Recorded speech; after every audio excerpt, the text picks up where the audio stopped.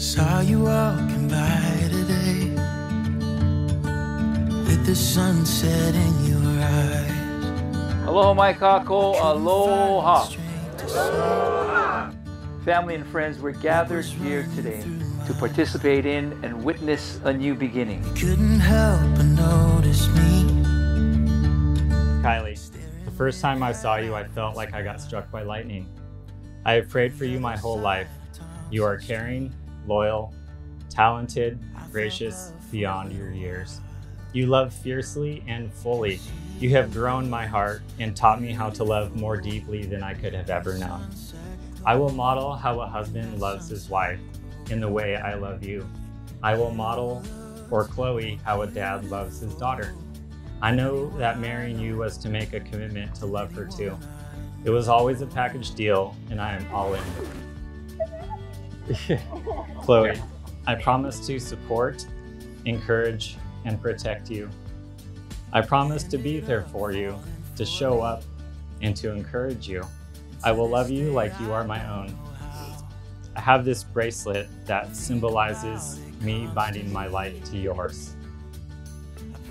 Kylie, I promise to lead you well, to give myself for you, and to give myself to you. To call you my wife will be the greatest joy of my life.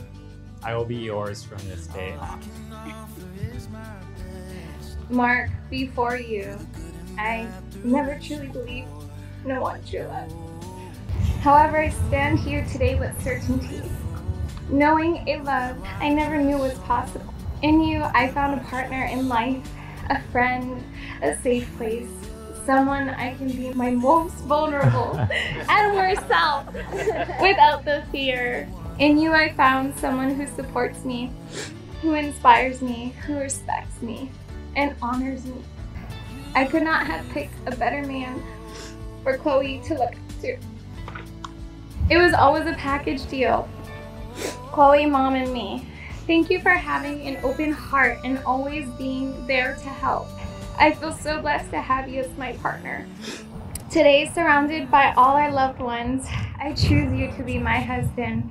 I promise to always be a guiding light through each new season of life. I promise to be there to support you.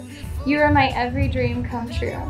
I can't wait to watch God's plan to be revealed and the direction the Lord will take us. I love you now, and I promise to love you forever.